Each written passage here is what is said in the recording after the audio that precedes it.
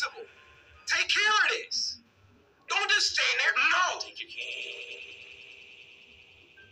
Principal, can you do something about this bully in the oh, hall? Thank you.